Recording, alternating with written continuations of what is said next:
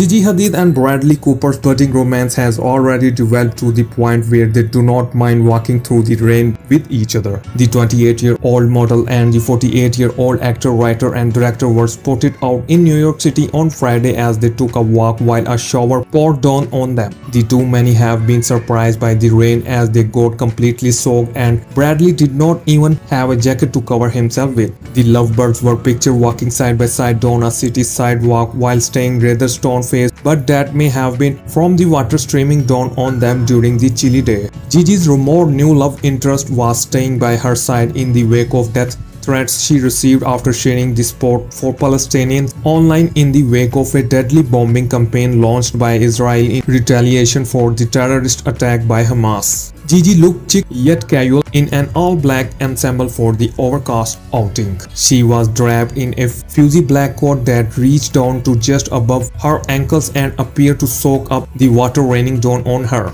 The catwalk star had her collar turned up for some extra protection, and the legs of her black sweatpants peeked out just below her coat. She added a tiny splash of color to her otherwise monochrome outfit with blue and green accent black trainers. Gigi's blonde hair was seemingly styled straight and wrapped around her throat. She covered it with a grey toque. So thanks for watching the video and don't forget to like, comment, share and subscribe for more videos.